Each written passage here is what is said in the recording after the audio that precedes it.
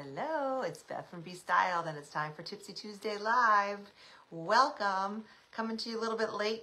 My husband next door is on a Zoom call talking really loud, so I had to wait for him to be done. Anyway, hello and welcome to a beautiful day. I'm wearing my neon, crazy, beautiful, bright yellow, I guess it's a little got a little bit of green to it. Chartreuse, maybe? I think it's mostly yellow in honor of the fact that we finally have some decent weather here in Newport, Rhode Island, and in New England. I heard that that there are storms and awful weather in other parts of the country. So um, wherever you are, I hope you are well. And if you're enjoying this weather, Alleluia, right? That's all I have to say. Um, anyway, I am coming to you live to, to uh, give you a little bit of a homework assignment, a required homework assignment. It's a little bit of a lecture it's something that you're going to appreciate um, that you that if if you do this, you will appreciate it, and you'll thank me maybe. Okay, it is six weeks until Memorial Day, so we are right in coming into or into the you know spring and summer event season. So what I want you to do is go to your calendar and look at write down every event you have between now and say Labor Day or October 1st. You pick.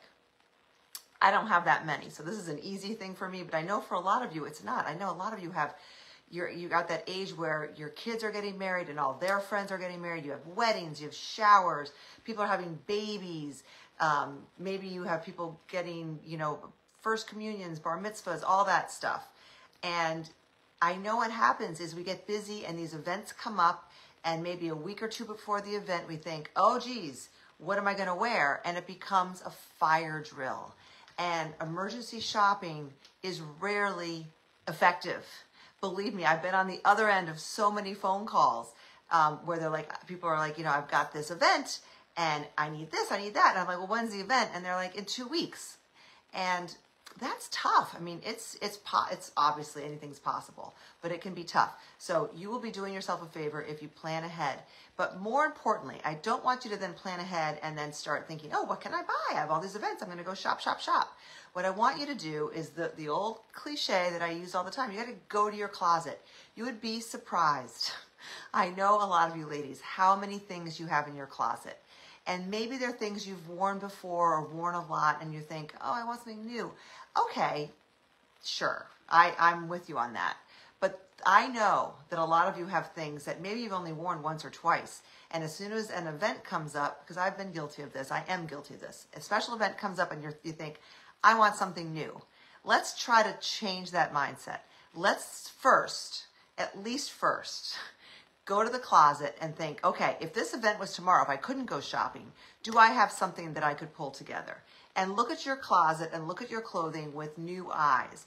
Forget where you last wore it. I mean, unless it was 10 years ago and it's out of style, then, then that's, that's not an option, obviously. I'm talking about things that you could and would wear to this event that are already in your closet.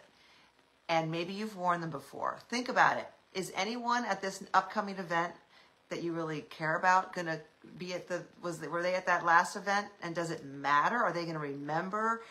Are they going to care? Do you care? If you do then that's one thing. But chances are they're not going to remember. You remember they don't remember. And also are there ways you can take that same dress or outfit and just change it up a little bit with your shoes with your accessories to make it look completely different and then i trust me no one's going to remember and you just saved yourself whatever you were going to spend on a new outfit. If it fits you, if you bought it and you liked it once and you've worn it before, it's it's it's like a bird in the hand, right? Money in the bank. so start there. So really give your wardrobe a good once over and try to build some outfits for these upcoming events directly from your closet. And then write down, okay, I, I love this dress, but I don't have the right shoes for it. I've tried, I've looked, I don't have the shoes, the bag then look for just those things. And when you pick out those shoes and bags and things like that, think about all the other events you have. You're not wearing different shoes and different bag to every event you have this spring and summer. I mean, unless you're like, you know, a Rockefeller, you're not, right? I'm not. Um, and you don't need to wear the exact same thing, but you want to buy things that are versatile that you can wear to these different events. Okay. Now I'm going to give you what my strategy is for, I don't have a lot of, I don't have a lot of occasion clothes.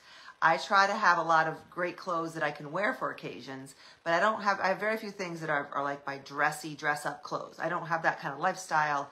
Um, but I do have some tips for you so that when those events come up, you do have things to pull from. Okay. First of all, um, let me know if I can see in the comments if you have any event, like what kind of events you have coming up. In my mind, I'm thinking of those wedding showers, baby showers, obviously weddings. Um, I'm not really going to talk about really dressy things um, today, but those events that just come up um, that you usually have some some advance notice. Um, but it, it could also be it could be those funerals, those celebrations of life that you don't have advance notice.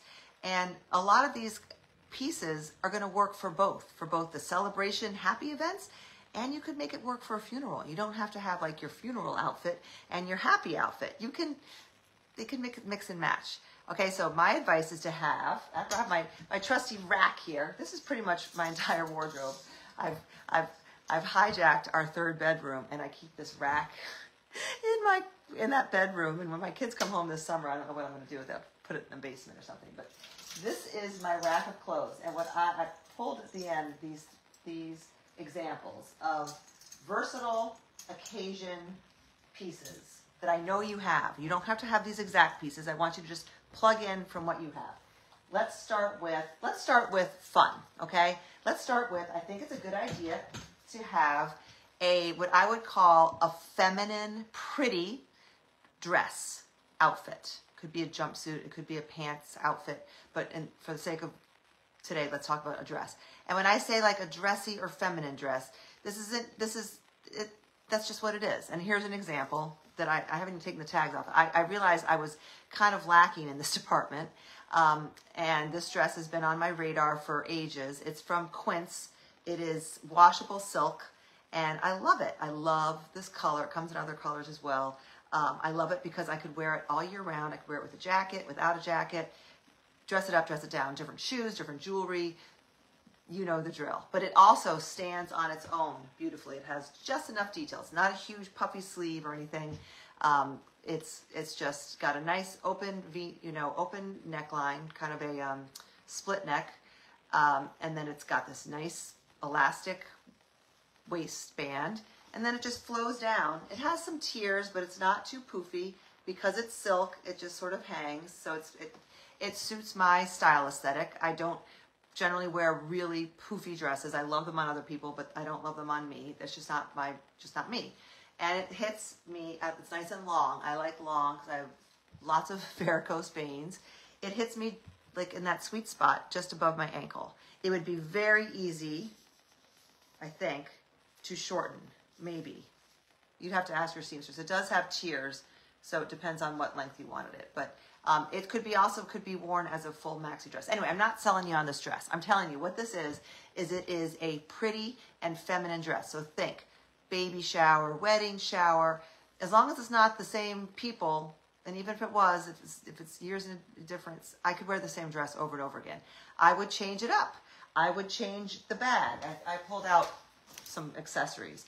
Maybe I would want to go, if you know, a daytime event. I might want to do a fun pattern bag. This is this this I got at a boutique or at a, like an event in Newport um, by some artisan. But I know Jamie at Flirty Finds has a beautiful woven like straw bag with with color in it. You could add that to it to a simple dress like this. I tend to go for solids with these heavy hitting pieces, um, just because you do you can change it up with your topper layer, your accessories, even your jewelry. You could wear a contrasting colored earring with this. Um, you could you could you know turn it into a more of an evening look or a different look with with black. Wear some a pair of black sandals, and then and then maybe I don't know a silver statement earring. That would be a great combination. So that takes it to kind of a nighttime look. I mean, you could even really bling it out this same dress for an evening look with the bling a blingy bag, some CZ earrings, and a pair of like silver shoes. See? Three entirely different looks from this one very affordable, washable silk dress. Okay? So, but it's but do you see what I mean by how it's like this is like feminine. This isn't like buttoned up corporate. Um, you could wear it to work, but it's it's it's a feminine dress. So think again, showers, christenings, things like that. If you are a pattern girl, a lot of you are going to recognize this silly dress. Not silly dress. This dress is from Amazon. All these things are linked in the link. If you, it's called Shop My Posts, um, and they're they're all linked there. Um, these dresses are all under the occasion dresses category link in that one link that you go to. Anyway, again, go to your closet. Do you have a pretty feminine dress? Maybe it's a floral. Fine. You could check the box with that as well. I love florals, especially, this is just my, again, my personal preference. If it's going to be a floral pattern, I personally like it if it's just like one main color. This is obviously red. This comes in a million and true Amazon style, a million different colors. But by keeping it um, one color, it's easier to, to change it up. It's a little less memorable, I think. You know what I mean? If you're going to wear it over and over again, it's a little, I don't know, less memorable. Solids are, are, are easier to pull that off with, though. But a lot of people love patterns, and um, I, I like it. I like patterns occasionally as well. So that's your that's your feminine go-to dress. You don't need 50 of them. You don't even need five of them. I'd say you need one, maybe two, depending on how busy you are. I could get I could get by with this in that category for a long time, and I probably will. I've had this I've had this one for years, and I wear this very casually in the summer with like flat sandals. Um, okay, the second category I'm going to call the blank slate category for dresses. In my case, mine are both that I pulled out are both jumpsuits. Yes, I have a dressy one and a, and a less dressy one. This this one is relatively new. It's navy blue with a V-neck. It's from Cabi. It's called the Genius jumpsuit because the back is not attached, so you can figure out why that makes it genius. Very convenient. Um, it's just a fabulous material. It has pockets. It is a cropped length. On me, it's about it's probably, I wish it was a little bit longer on me. So if you're petite, it's going to be perfect. It's, it's above my ankle. Eh, maybe that much above my ankle. But it's just got wide, wide leg, flowy. It's a nice flowy material. Very forgiving, very comfortable to wear. This is a blank slate. It could, you could do the same thing with separates, with matching navy separates. That becomes your blank slate. It could be black, it could be tan, it could be gray, it could be whatever. Um, it's a it's it's a blank slate. My other my other blank slate piece that I've had, I had to go dig it out of the basement. It was in a garment bag. I've had this baby for 15 years maybe, and if I had to go out at night to someplace dressy, this is what I would wear, and I, I think it's still in style. I, I linked similar ones. I couldn't find this one as great as this one personally. I think this is the best one. Um, I've lent this to people. Maybe if you're out there, you've worn the same jumpsuit. It's from Black White House Black Market. I look, they don't have it. Again, it's 15 years old. It is just a halter neck, very long, flowy legs, but stretchy, not clingy anywhere, not jersey. It's it's thick but flowy, and it's a blank slate, dressy black jumpsuit. Not bathroom friendly, but I don't care. This I could do the same routine with that I did with the teal dress as far as dressing it up, dressing it down. I mostly wear this with this dressy, but um, in the summer I would wear it with like a um, a neutral shoe, like a little summery shoe, and maybe a um, a bag in this color. If I, I don't have one right here, or I could carry the straw bag since it's got you know, this little summery, and then maybe wear like a really cool statement earring, maybe even in a color. But the point is, it's a blank slate. Okay, you need the blank slate piece. Um, could be it could be your little black dress, your little navy dress. Go try it on. Make sure it works because what this piece, not the dressy one, but the this blank slate piece works as is your go-to funeral outfit as well. I could take this jumpsuit.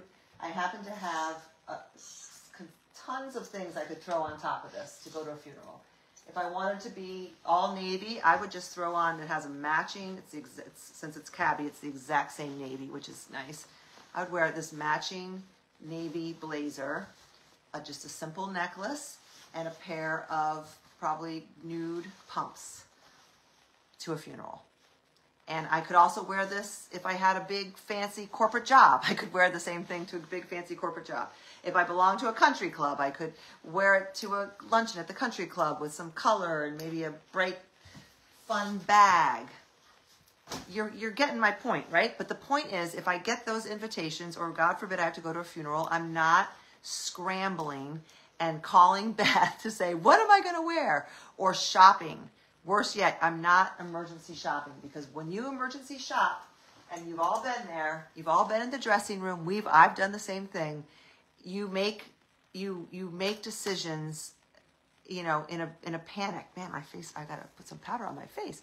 Um, you make panic decisions, and they're never good. You're you spend too much. You buy things that you never wear again. You buy things you don't like. Then you go to the event and you're mad at yourself because you don't like your outfit and you spend all this money. So we're not doing that. And now's the time to plan ahead. Check your calendar and line it all up. Try the shoes. Get make sure you have the bag.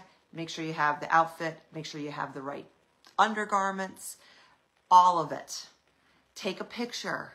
Make sure you like the way it looks. Even if the event is two months from now You'll, you'll just save yourself. Maybe not two months. Look a month ahead and just make sure you have something. And keep these pieces in your closet and make sure they're always clean. They're always, you know, pressed and ready to go. Okay? So that's your job. Check your calendar. Let me know if you need any help. If you're in the spring style system, we help all the time with people who have these events and they'll show pictures. Which should I wear this dress or this dress? And they get great unbiased eyes. It's better than asking your sister or your daughter, God forbid, right? You get, and you'll, you know, these women are very kind and, and I'm obviously kind, but I'm also very honest. I'm not just going to say, oh, it looks great, it looks great, it looks great. I'm going to say, this, I like this, try this instead, do, wear this shoe instead. Can you do this? Can you roll your sleeve? I make little tweaks. I'm not, it's not a big, just, you know, you look great, you look great, you look great. I mean, people are spending $47, which is a lot less than you spend on all those emergency shopping trips. Trust me. They're spending $47 for the whole season in this group to get that kind of feedback. I mean, girls, it's invaluable. It saves you so much money. And I talk about it all the time. It gives you a list, a plan, so there's no willy nilly shopping. Willy nilly shopping is bad. And we are living in a world right now where it is too darn easy I mean, it is too easy. I was on YouTube looking for something and I noticed that everyone on YouTube, every everyone on YouTube is is influencing me to buy something. And you know, and obviously I try to I influence, I guess. It's not but I, I don't I try not to. I'm not all about buy, buy, buy, but it's it's it's just thrown at you all the time. But the fact of the matter is you don't have to buy new things every time you have an event to go to. You have things. And if you don't have anything, if you don't have anything to wear to an event, if you're starting from scratch, you've lost weight, you've gained weight, your style has changed, your life has changed, start with these things. Say you need say two things. You need your feminine party dress that you can wear. It's your go-to and you're going to wear it over and over again. And yes, you're going to wear it to the same, you're going to repeat it and it's going to be okay. You need your feminine dress and you need your blank slate dress outfit that you can completely transform and make it go to a funeral in it or go to a meeting in it or go to a party in it. Those two things. If you have those two things, start with that. Before you buy all kinds of other, I, I mean, this is, this is, you know, this half of my rack is my basics. It's not rolling. Down there is my basics. That half. Okay, that's where all, see the color, see all the neutrals, the blues, the tans, the off-whites. Then this is all my, actually, that, those, what? Those all are on that side. These are my fun things. This is where the color and everything is. But the beauty of these things is I can, I can grab that navy blue jumpsuit or a, or column of navy and I can grab, I can grab this jacket and change it up.